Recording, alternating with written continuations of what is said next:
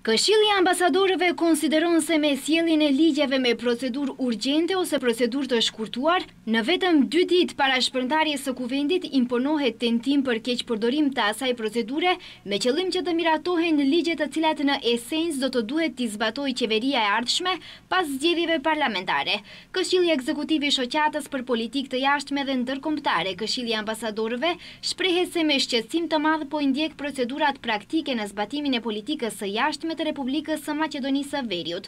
Andaj vlerësojnë se kjo që po ndodh është dëm i madh nga shumë aspekte.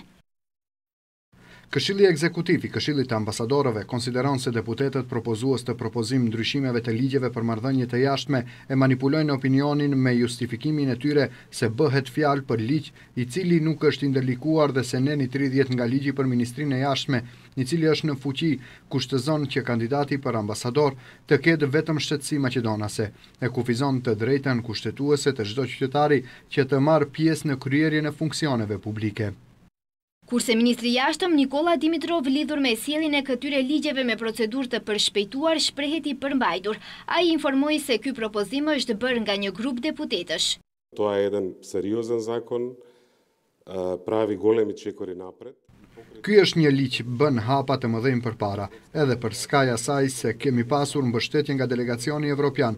Ne ishim të prerë për të mos i vendosur flamur evropian për të mos kërkuar një procedurë të shkurtuar, sepse mendoj se zgjidhjet e reja në ligj duhet të kalojnë në një debat të madh dhe thelbësor në komision dhe në parlament.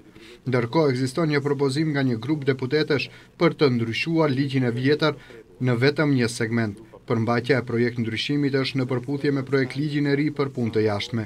Ajo që më vë në siklet është se ndryshimi është propozuar në një procedurë të shkurtuar dhe kjo është arsyeja pse unë, siç them, Jam i përmbajtur.